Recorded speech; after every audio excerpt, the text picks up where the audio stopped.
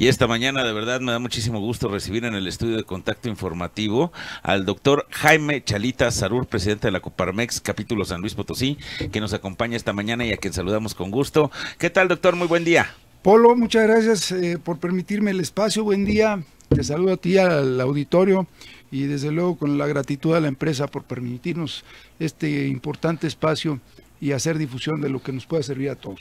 Por supuesto, y sabemos que eh, ustedes han mostrado un interés pues desde siempre, desde un inicio que comenzó precisamente todo esto que es la ruta electoral del año 2018, han generado opiniones, han generado, bueno, por supuesto también algunos pronunciamientos que sin duda alguna también han sido parte de todo esto que se ha venido dando y tenemos eh, eh, en puerta pues una serie de encuentros que se han eh, estado generando tanto desde los candidatos a, los, a la presidencia de la República y ahora, bueno, pues ante la gran posibilidad de que sea también eh, a nivel local. Platíquenos un poco, doctor, cómo han visto ustedes este panorama.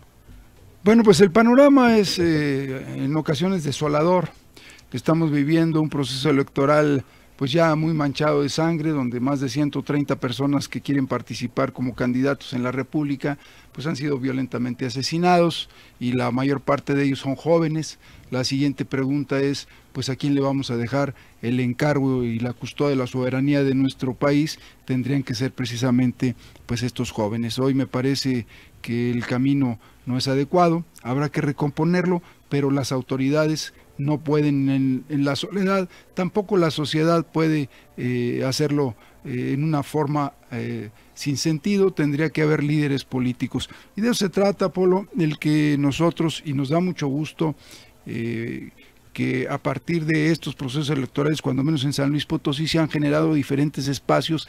Este que promueve Coparmex junto con los organismos empresariales y organismos de la sociedad civil sería uno más, pero eh, eh, organizado en una plataforma nacional. Es decir, vamos a tener un debate, uno más, eh, el día 14 de junio en el Centro de Convenciones a las 6 de la tarde, de 6 a 8, con tiempos medidos, y esperamos que asistan los diferentes candidatos. Quien no quiera asistir, pues también está en su derecho y respetaremos esa expresión como fuera la libertad de expresión que tiene acceso cualquier persona.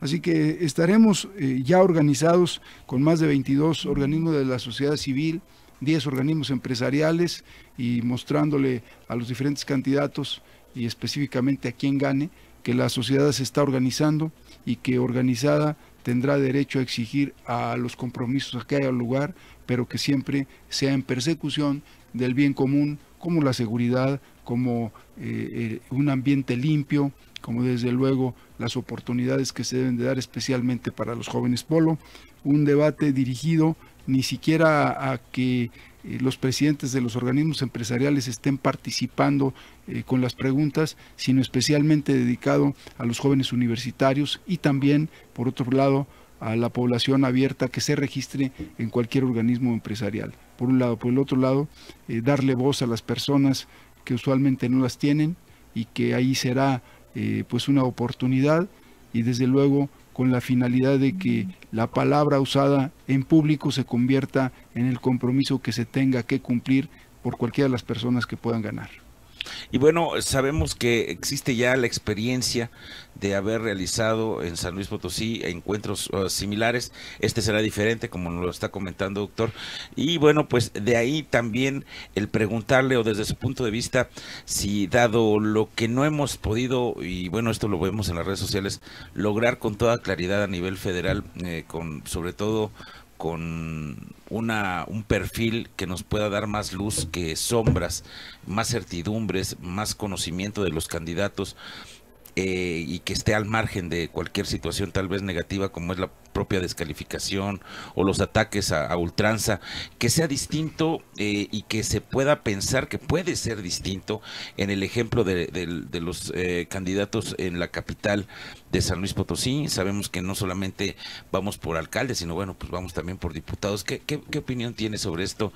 Sobre todo a diferencia de lo que se está dando a nivel eh, nacional, vamos a decirlo Pues un balance negativo, claramente, Polo, un balance de soberbia de parte de las personas eh, que han logrado llegar a un puesto eh, público, un balance eh, de desdén de casi todos de ellos y desde luego que esto resiente la población. Está la población, algunos le llaman desde el ángulo político, la población está de mal humor. Yo no creo eso, la población está enojada, pero ese enojo no podemos transmitirlo a la selección que tenemos que hacer de las personas que van a dirigir seis años al país.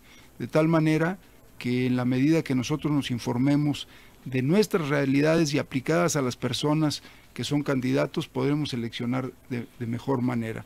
En Coparmex, eh, quiero decirte que ya no le apostamos a una sola persona.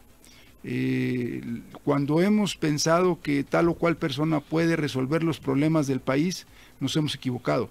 Se ha equivocado la población mexicana. En Coparmex lo que queremos es apostarle a dos vertientes. Primero, a la reconciliación de la sociedad, al reencuentro de la sociedad y desde luego que a través de ello refundar nuestro país, por un lado, y generar una opinión pública fuerte en búsqueda de lo que nos sirva a todos, no de lo que le sirva a un sector de la población. Y por el otro lado, invitar a los jóvenes eh, que emitan su voto. Es decir, usualmente eh, los niveles de participación de la sociedad en, las votaciones es bajo. Tendríamos que buscar estos dos elementos.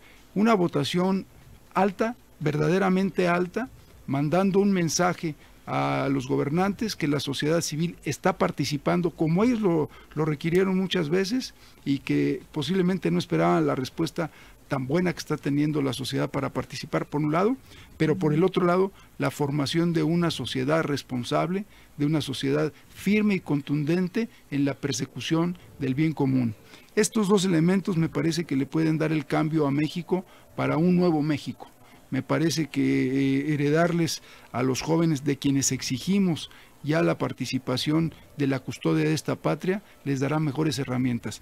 De tal forma, mi querido Polo, que me parece que desde Coparmex, con la seriedad que lo hemos querido enfrentar y la participación ciudadana, junto con asociados de, la sociedad civil, me parece que vamos por el camino correcto y que esto debió haber empezado hace muchos años. Bueno, pues estaremos muy a la expectativa de todo esto. Doctor Jaime Chalita Sarur, nada más por último, ¿qué hay que hacer para poder participar para quien esté interesado? ¿Habrá algo para inscribirse? ¿Cómo estarán lanzando ustedes la convocatoria de, participación? Y, por supuesto, el, día y hora que esto se tiene tentativo. Claro. Eh, el día es el 14 de junio, 6 de la tarde, de 6 a 8, y eh, se pueden inscribir cada uno de los organismos empresariales, cada uno de los organismos de la sociedad civil en sus páginas tienen eh, el acceso. estaremos participando con el Consejo de Ayuda para la Defensa de la Mujer, con Gen Millennium, Ciudadanos Observando, que tiene una participación especial, Fundación Rino Q, Colonia Juvenil, organismos empresariales como SEMI, Canaco, Canacintra, AMPI, Canadevi, eh, Coparmex, desde luego, Aderiac, nuestro centro, el Colegio de Notarios, pues todos ellos, y a partir también de la página de Coparmex San Luis Potosí, ahí están eh, los accesos, cada quien. Y, esta novedad, ¿no, eh, Polo? Cada quien, cada organismo va a proponer 10, 12 personas hasta llegar a un foro de 260, 270 personas entre estudiantes y población abierta, pero cada organismo se va a hacer responsable para que este foro esté lleno de propuestas, lluvia de ideas y de peticiones eh, a los candidatos para que los vean, los analicen y los puedan resolver y que las descalificaciones no las vamos a permitir por un lado y por el otro lado, pues todo este evento va a estar en la plataforma nacional de Coparmex transmitido ese mismo día en sus diferentes redes sociales. Tienen ya su formato para moderadores y todo esto. Todo y la plataforma nacional de Coparmex ya está contratada. Muchísimas gracias, doctor Jaime Chalita Salud, presidente de la Coparmex, y estaremos pendientes para este 14 de junio. Dios 6 de la tarde, 6 de la tarde para lo que será este encuentro, este encuentro debate entre los candidatos a la alcaldía de San Que vaya quien le interese, quien no le interese, igual respetamos eh, y restrictamente su derecho. Muchísimas gracias, doctor. Gracias.